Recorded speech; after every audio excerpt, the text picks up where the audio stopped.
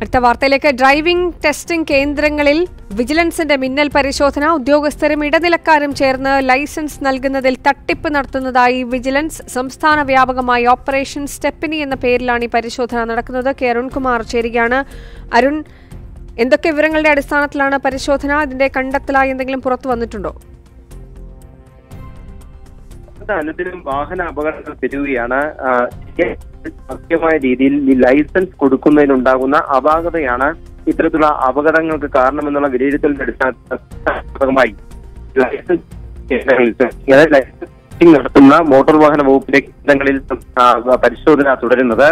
അതായത് ഒരു എക്സ്പെർട്ടായിട്ടുള്ള ഒരു പരിശീലനം ലഭിച്ച ഒരു ഇൻസ്പെക്ടറുടെ പേരിൽ ലൈസൻസ് വാങ്ങിയതിനു ശേഷം ആ ഇൻസ്പെക്ടറുടെ പേരിൽ ലൈസൻസ് മാത്രമായിരിക്കും ആ മോട്ടോർ ഡ്രൈവിംഗ് സ്കൂളിൽ ഉണ്ടാവുക. പിന്നീട് മറ്റാരെങ്കിലും ആയിരിക്കും പഠിപ്പിക്കുക.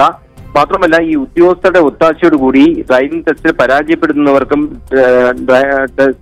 ലൈസൻസ് കൊടുക്കുന്നു എന്നുള്ള വിവരം വിജിലൻസിലുണ്ട് മാത്രമല്ല ഈ ഡ്രൈവിംഗ് ടെസ്റ്റ് പൂർണമായും വീഡിയോഗ്രാഫ് നടത്തണം എന്നുള്ള ഷൂട്ട് ചെയ്യണമെന്നുള്ള നിബന്ധന ഉണ്ടെങ്കിലും പല സ്ഥലങ്ങളിലും ഇത് പാലിക്കപ്പെടാതെ ഈ ഡ്രൈവിംഗ് സ്കൂൾ നടത്തിപ്പുകാർക്ക് സഹായം ഉദ്യോഗസ്ഥർ ചെയ്യുന്നു എന്നുള്ള വിവരത്തിന്റെ കൂടി അടിസ്ഥാനത്തിലാണ് സംസ്ഥാന വ്യാപകമായി പരിശോധന ഇപ്പോൾ നടത്തുന്നത്.